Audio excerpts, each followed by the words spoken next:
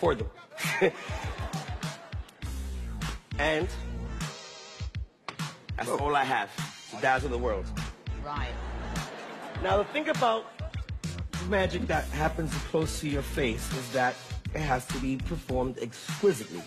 Okay, pronounce that word correctly, but. oh. Excuse me. Just cost a card. But honestly, I Whoa. Oh. just do not like card tricks because. That's amazing. But Where are coming from? but I have a beautiful six-year-old son, and um, I want to do something to you, Miss Mel. B. Oh, wow. that my little boy likes. Can I see your hand? The other side. Thank you.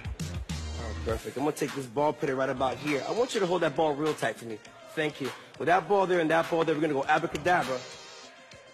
Open up your hand. Shut up! Shut up! Let me mentally assault you two on the other hands. because, because I am ghetto. Whoa.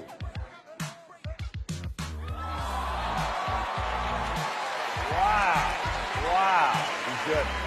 Oh, he's good. That's good. Whoa. Pretty cool.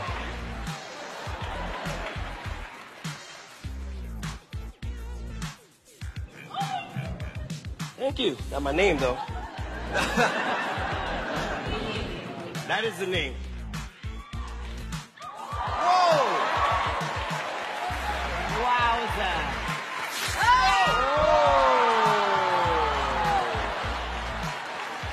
Thank you.